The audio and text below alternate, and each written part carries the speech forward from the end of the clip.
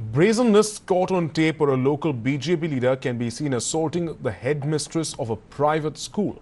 The leader, as you can see, hits the headmistress first with his hand and then with something that looks like a charger cable. The assault allegedly took place over the repayment of some loan.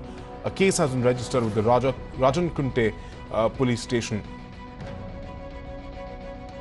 Well, these are the pictures of that uh, BJP leader, in fact, who goes on to assault the, this is the headmistress of a, of a school uh, there, uh, in fact, assaults her and then takes what looks like a charger and then assaults her again.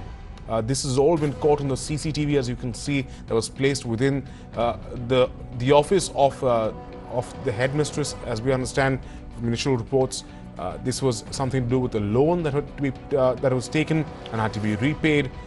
this Neta then went on the rampage and then assaulted her uh, first with his hands and then taking up, in fact, a charger, uh, you know, to to hit the headmistress of the school.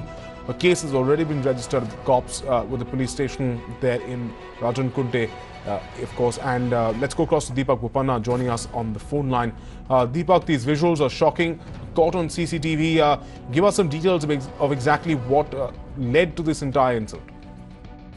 Now, what we're made to believe here is this is a small issue over a loan repayment. Now, the headmistress of the school, Asha, she runs a small uh, school in Konan, uh, she, uh, near Rajan Kunte in Bengaluru.